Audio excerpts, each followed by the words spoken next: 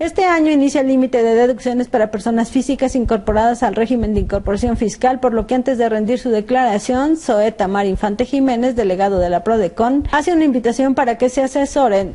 En este año eh, inicia el límite de deducciones para todas las personas físicas, es decir, todos los trabajadores que están asalariados, que tienen actividades empresariales y demás. Eh, en este año van a rendir su declaración por muy tarde a finales de abril, por muy tarde.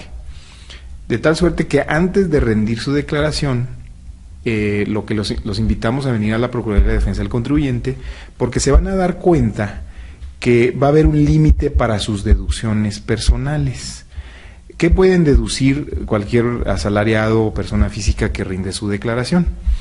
Puede deducir gastos médicos mayores, odontológicos, eh, colegiaturas de los hijos, por ejemplo, transporte público de los hijos, eh, de la vivienda, los intereses de créditos de Infonavit o Fobiste.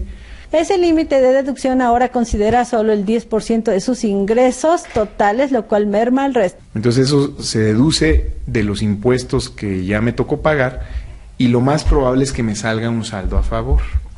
Cuando esto sucede, nosotros, si no, si el SAT no te devolvió, interpone una queja con nosotros para iniciar el proceso de la devolución que debió, haberse dado. Pero en este año se van a encontrar que nada más pueden deducir el 10%, el 10% de sus ingresos eh, totales al año. En otras palabras, si una persona ganó 100 mil pesos en el año, solamente podrá deducir 10 mil pesos.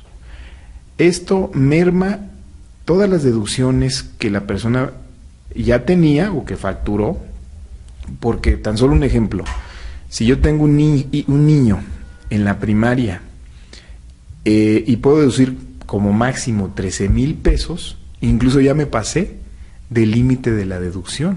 Entonces no más puedo deducir 10 mil y entonces otros 3 mil quedo volando.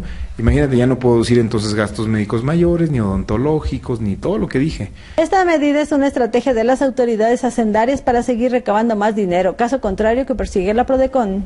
Es una estrategia de menor devolución del impuesto sobre la renta. Entonces, para la Procuraduría de la Defensa del Contribuyente vamos exactamente al revés. Vamos a meter amparos en las 30 delegaciones del país y en oficinas centrales de todos aquellos que no estén de acuerdo con este límite de deducciones personales y así poder modificar esa ley, en particular el 151 de la ley del impuesto de la renta, para que no exista límite a las deducciones y sobre todo de las personas que menos tienen, porque entonces, mientras menos ingresos, menos deducibles tienes. Y eso es contrario incluso a, a la ley porque Mm, tienes pocos ingresos, pero de todos modos tienes gastos. Los contribuyentes deben acudir antes de abril a la PRODECON a fin de interponer un amparo en contra de este límite de deducciones. A partir de ya, y además urge porque de aquí hasta abril eh, tienen como plazo límite para rendir la declaración. Entonces nos queda marzo y nos queda abril para interponer el recurso, el amparo, de manera gratuita. Aquí en la Procuraduría de Defensa del Contribuyente todos nuestros servicios son gratuitos, de tal suerte que si desean venir a interponer su amparo de manera gratuita, nosotros vamos a, sumar todos los amparos colectivos en el país en contra de este límite de deducciones personales. Todo aquel contribuyente que también tenga dudas al respecto, porque también nosotros enseñamos a los contribuyentes a llevar su propio control fiscal. Eh, hacemos cultura contributiva. Informó para Noticiero Nuestra Visión Patricia Torres.